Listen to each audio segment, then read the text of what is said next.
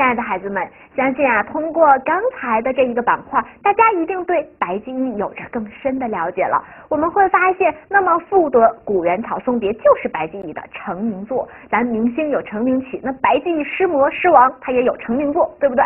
那么就是在他小小年纪当中，一下子就一鸣惊人，这时候他就一下子走上了仕途之路。那接下来我们要看一个更精彩的板块，就是白居易的仕途之路。我们会发现，呢一个人如果他想在官场上，哎，这个步步高升的话，那一定要哎学会，呃，这个就比如说我去溜须拍马这样的吧，或者是学会察言观色。可是白居易这个人他非常有性格，他是一个哎这个。觉得只要实力够了，只要我为百姓谋福利，我不要在这个中间呀搞一些小动作，对不对？于是呢，白帝他当上了一个一个官，叫做什么呢？叫做左拾遗。什么叫左拾遗呢？就是痛杜甫也当过左拾遗，对不对？哎，那么其实也就是说，哎，去捡捡起，拾就是捡起，遗就是遗漏，捡起皇帝的一些纰漏，比如说皇帝呢，他他比如说批奏章的时候出现了一些错误，或者皇帝的一些决断，哎，有了一些错误，那么他呢要有这个职责去给皇帝提出来，对不对？那咱们就会发现有一句话说得好啊，叫做伴君如伴虎啊。那你看，我们从我们中国啊，自古以来，从春秋战国时期那个时期呢，哎，你看我们以前学习的《韩非子》呀，学习的《战国策》呀，对不对？我们二年级的文学史当中聊到的这么多的故事，大家会发现，其实它都源自于谁呀？都源自于这些谋臣的口中。哎，都是这些谋臣他来讲的，因为他们当时就觉得。左拾遗这个官儿啊，说大不大，说小不小，但是你做起来那可真难呀！你想想，你给皇帝提意见，对不对？你提好了行，提不好了，皇帝一气之下。可能把你拖出去斩了，你就 game over 了，对吧？那这时候呢，这个有人呢在给皇帝提意见的时候呢，就非常讲究策略。比如说在《韩非子》当中，在《战国策》当中的这些辅佐皇帝的人，他们觉得我直接说皇帝不好，这行吗？忠言逆耳，一不小心把皇帝给惹怒了，自己小命都难保，对不对？那他们干嘛呀？这些人他们就给皇帝讲故事，比如说讲。揠苗助长，三人成虎，一鸣惊人，对不对？哎，等等，他给皇帝讲这些寓言故事，比如鹬蚌相争，这都是我们二三二年级和三年级上半学期学过的。那咱们就会发现。当皇帝听完了这个故事之后，他自己就会思考了啊，心想鹬蚌相争，那我还是别跟别跟我的这个邻国较量了，那万一让别人白白得了好处，就得不偿失了。于是皇帝自己就开始调整行动了，对不对？可是白居易呢，他觉得哎呀犯不着这样，对不对？他这个人非常耿直，他常常当面指出皇帝的错误。一次可以，两次可以。你要知道，皇帝都是万人追捧的呀。那只有你总挑皇帝的错，总说人家不好，对不对？那时间长了，皇帝那他当然不会再喜欢他了，对吧？于是他就被贬了，因为他频繁的频繁的这个上书，这个上啊。因为他频繁的上书，于是就被贬官了。被贬就不能在长安了，被贬到了咱们今天的江西一带，也就是古时候的这个江州。被贬到江州之后，他还不算完。白居易他这个人很有社会责任感。那当时他就听说了一件大事儿，就是当朝的一个宰相呀，他遇到了一个刺客，把他给刺死了。哎，那这个宰相丧了命之后，有一些奸臣，他们就说忠臣丧命了，这个是简直简直是大好的事儿啊，对不对？那就别管了。哎，于是白居易听说了，这他就为人家鸣不平，哎，他就又开始上书说这个他建议干嘛呢？他就主张全权捉这个把这个凶手捉拿归案，一定要把刺死宰相的这个凶手给逮住，对不对？结果旁边的一些奸臣们，他们又又开始挑拨离间了，他们就对皇上说。白居易现在都已经被贬到一个偏远的江州了，这时候还不算完，对不对？去做做了这个这个，到这儿做了个小官还不算完，干嘛呢？还要去管朝廷的事儿。于是他们又陷害白居易，说白居易的母亲，哎，他就是因为看花而坠井身亡。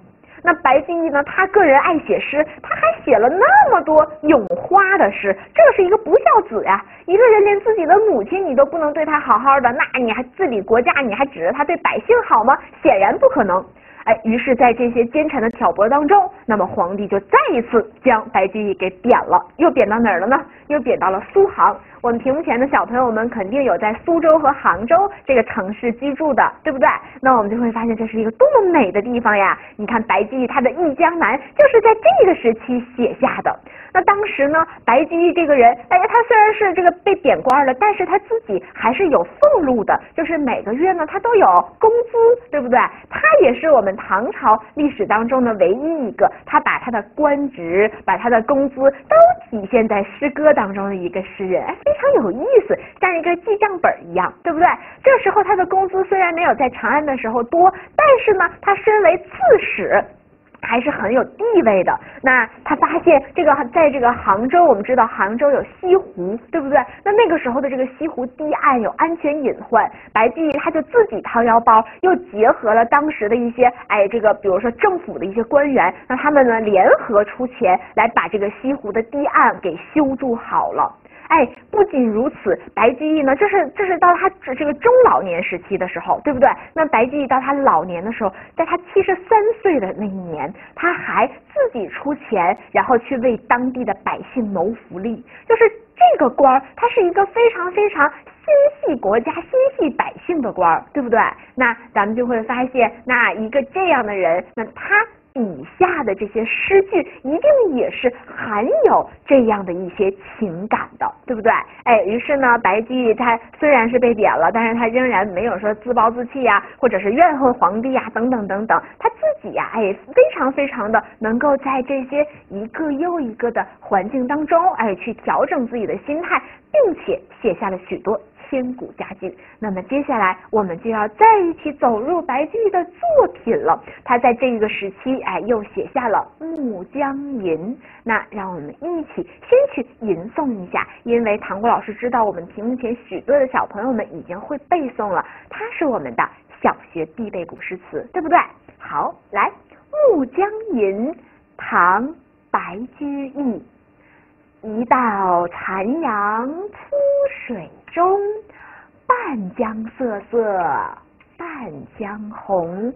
可怜九月初三夜，露似真珠月似弓。孩子们，这是一首七言绝句，我们在吟诵的时候可以用二二三的形式。正好，老师和大家一起去吟诵啊，《暮江吟》唐·白居易。一二，《暮江吟》唐·白居易。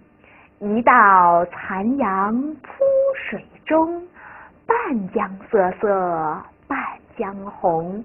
可怜九月初三夜，露似真珠月似弓。将来我们不管是北师版的教材也好，人教版的教材也好，到四年级的时候，这都是一首。必备古诗词是我们教材当中出现的古诗。那么在这里呢，老师首先和大家去赏析一下，让我们走在最前端，我们一起来跟着老师的问题思考。大家来想想，《暮江吟》这个“暮”是什么时候呢？“暮”我们总说夜幕降临，对不对？那么在这里，“暮”指的就是傍晚。对不对？哎，暮指的就是傍晚，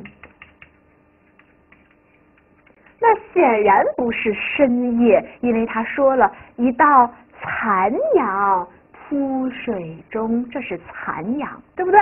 好，用了一个残阳，那什么叫残阳呢？它和正常的太阳有什么不同呢？我们通过观察图片来思考，孩子们，哎，大家会发现。这个残阳好像是《暮江吟》，就是白居易他站在江边，哎，看到了这的景色非常美妙，于是就吟诵了一首，哎，歌这个不能说歌曲，应该是诗歌，对不对？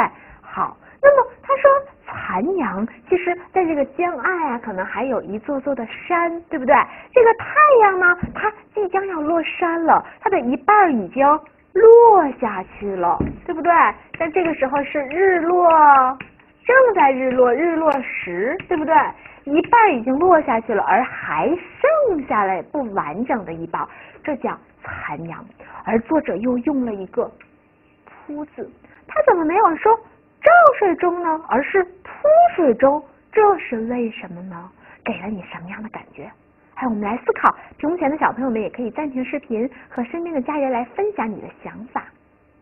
好，我们会发现，如果是照，那好像是太阳高照，中午的时候这叫照，对不对？而铺水中，哎，感觉那个江面被这个太阳光铺的很很这个匀称，而且很柔和。这一个铺字更能体现出这里景色的柔美，对不对？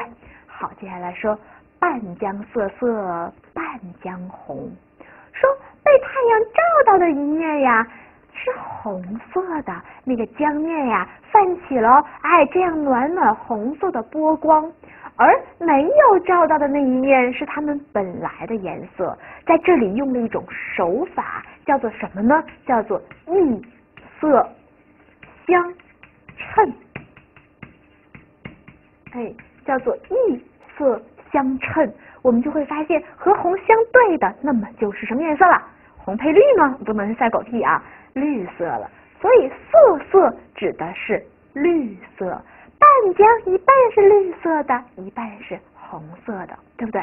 接下来作者又发出了感慨，他说。可怜九月初三夜，还记得这个地方以前唐国老师讲过吗？哎，他并不是说这一天很可怜，而是哎，此时此刻呀，这里的景色真是惹人怜爱，真是可爱呀，对不对？所以可怜，随时做笔记呀，孩子们就是可爱的意思。说可爱的九月初三的夜晚呀，九月初三，古时候的人说的都是农历，那九月初三应该就是咱们现在阳历的十月份了。这什么季节呀？哎秋季，对不对？哎，那刚才还是木呢，现在变成什么了？夜了。刚才还是日落时呢，现在变成什么呀？夜晚了，太阳落完了，这叫日落后。这是一个时间顺序，对不对，孩子们？哎，那我们再来看啊，露似珍珠，月似弓。哎，他说露就是露珠，对不对？刚才是太阳。现在这个太阳变太阳变成了什么呀？哎，一轮像弓一样的弯月。太阳落山了，此时此刻露珠都出来了。露珠这种自然的现象，它是只有在清晨和夜晚的时候才会出现，傍晚的时候有太阳的时候它一般不会出现，对不对？好，月似弓，月亮呢像一道弓一样，又运用了。修辞用了比喻的修辞手法，对不对？所以我们就会发现，原来白居易在这里观察了很久啊。他从日落时一直观察到了日落后，这儿的景色要有多么迷人，才能够吸引他在这里一直的去观赏、去吟诵、去作诗呀。好，孩子们，刚才是我们在这个三年级阶段，老师哎第一次把诗歌讲的比较深。其实这就是古诗词赏析。我们会发现，当你了解了这首诗背后的情感、手法，对不对？背景，那肯定会对它有一个新的认识，并不是光去把它背下来就可以了，对吗？好，最后我们来一起吟诵一下啊。能背诵的同学可以摇头晃脑，和唐老师一起背古诗《暮江吟》。唐·白居易。一道残阳铺水中，半江瑟瑟半江红。可怜九月初三夜，露似珍珠月似弓。好，孩子们，这首古诗我们现在是不是能够铭记于心了呢？